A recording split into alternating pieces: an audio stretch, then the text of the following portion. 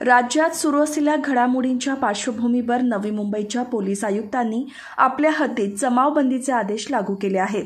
मात्र त्यानंतर देखील शिवसेनेच्या रायगड जिल्ह्यातील पदाधिकाऱ्यांनी शिवसेना नेते आणि मंत्री एकनाथ शिंदे यांच्यासह इतर आमदारांचे खारघर येथे पुतळे जाळून आंदोलन केले. त्यामुळे खारघर पोलिसांनी या आंदोलनाचे नेतृत्व करणारे शिवसेनेचे रायगड जिल्हा प्रमुख शिरीष घरत यांच्यासह प्रमुख पदाधिकाऱ्यांवर गुन्हे दाखल केले आहेत.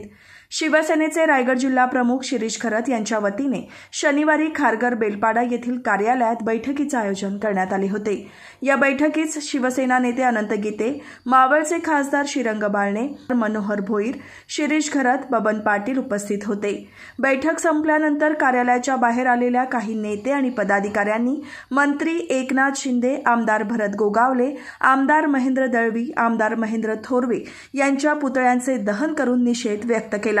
या संदर्भात खारघर पोलिसांनी आंदोलनाचे नेतृत्व करणारे शिरीष खरत आणि त्यांच्यासोबत बबन पाटील मनोहर भोईर गुरुनाथ पाटील शंकर पाटील प्रकाश गायकवाड परेश पाटील यतीन देशमुख अनिल पाटील दीपक घरत यांच्यासह चाळीस ते पन्नास पदाधिकाऱ्यांवर मनाई आदेशाचा भंग केल्याप्रकरणी गुन्हा दाखल केला आहे.